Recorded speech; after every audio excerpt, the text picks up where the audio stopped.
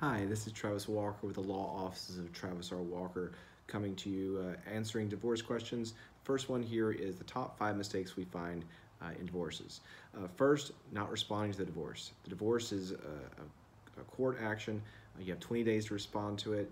If you don't respond to it within 20 days, you can get defaulted. And default means that the other party gets exactly what they want, what they've asked for in their divorce pleading. So it's very important for you to uh, respond to the, the divorce complaint. There's a number of times we are representing someone uh, in a divorce action and the other side gets defaulted. We're more than happy to get what we can for our clients and do it, do that. Uh, but so the number one mistake oftentimes is just not re even responding, not showing up. That's huge. Um, number two, uh, not taking the financial affidavit seriously. The financial affidavit is a sworn document. That means it's done under oath with a notary. Uh, you can be held in contempt potentially uh, for not uh, filling out the financial affidavit accurately and correctly. So you have to take that financial affidavit uh, uh, seriously.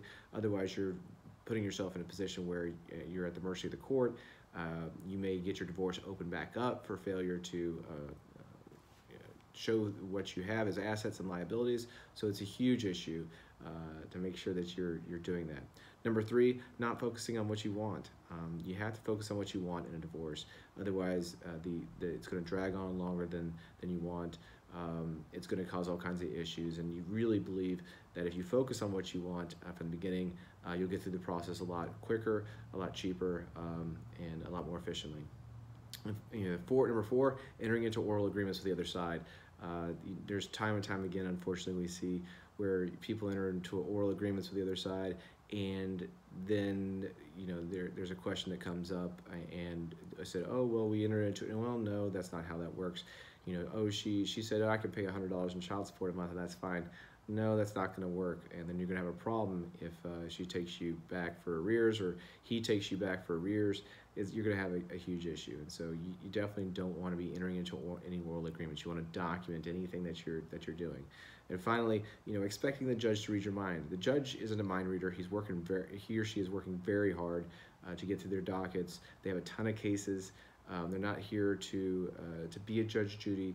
They're not here to be uh, you know your your friend. They're here to to uh, you know, call balls and strikes, see, and as the law says it should be, get through their docket, um, use the judicial resources that they're given um, with as much care as possible. So it's not, uh, it's something that you have to uh, be aware of is the ju judge is not going to be able to read your mind.